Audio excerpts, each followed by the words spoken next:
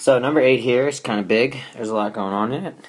Um, I want to answer a bunch of conditional and or other types of probability questions here.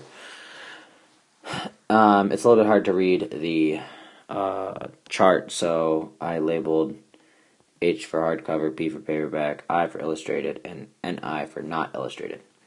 So, um, and you should be able to read all this stuff. So, I am going to do my totals, and I'm actually going to pause it, and they're just going to show up for you. So you can see I added up rows and columns there. Now, um, I'm also going to find the total number of hardback. I'm going to write that right here. So the total number of hardback is uh, 2040. And then the total number of paperback is 1570. I think we'll probably need that as we move along. So part A asks, what is the chance that an illustrated book is paperback? So that is um, P of a paperback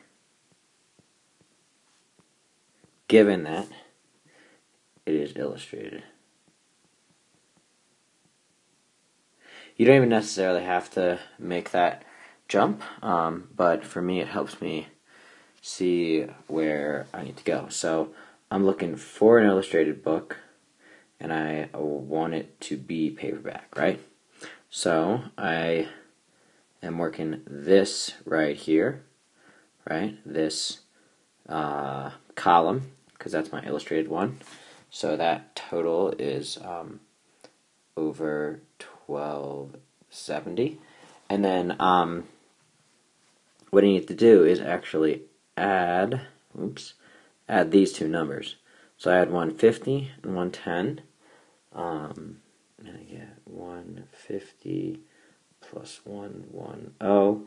And then I divide it by 1270. And what that gives me is 20.47%.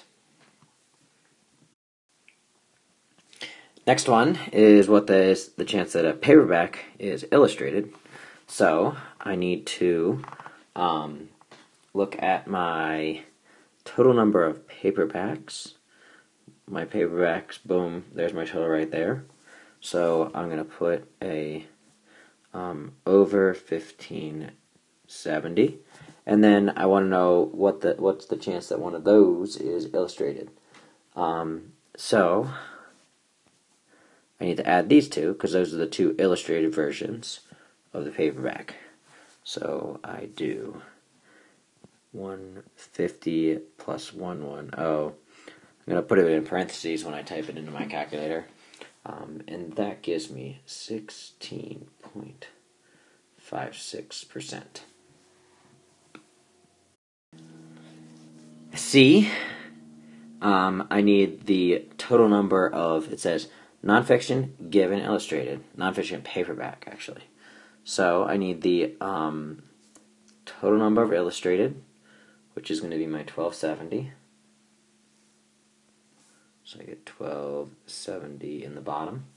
And then within that category, I want to know which ones are both nonfiction and paperback. So I'm looking at this category. Here's my nonfiction, uh, and that's paperback as opposed to nonfiction hardcover. So I'm using the 110.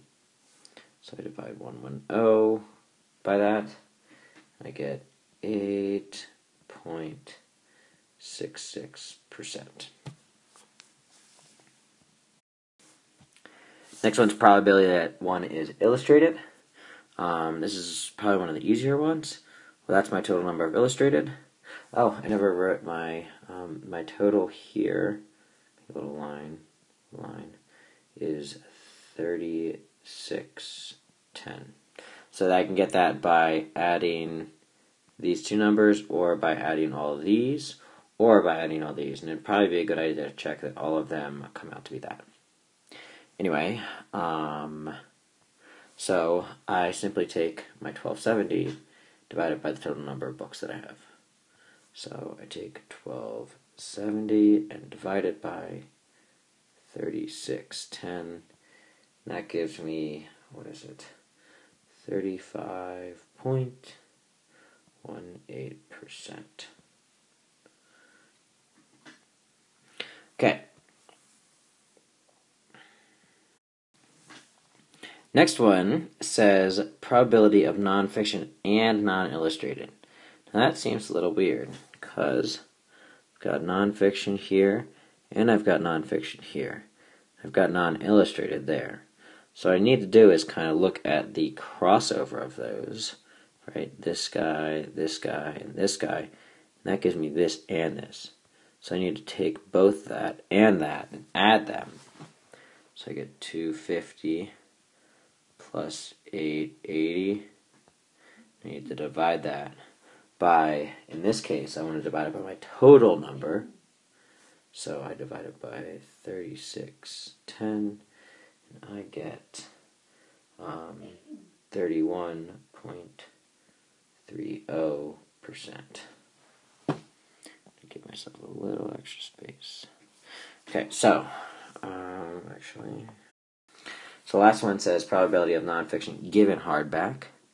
So I've got my hardback here, which is going to be a total of 2040. So that's what I am going to divide by. Maybe I'll do this right over here. So I do over 2040. And then um, my non-illustrated, let's see, I've got non-illustrated here and here for the 2040. So you need to add 780 and 250. So I do 7, oops, 780 plus 250. I'm going to throw it in parentheses. That gives me the last one is 550.49%. Now, based on what we talked about in class, might be good to add three decimals um, for each of these. Um, I obviously didn't hear I'm just using my key, so sorry, but on the test you probably want to include three decimals.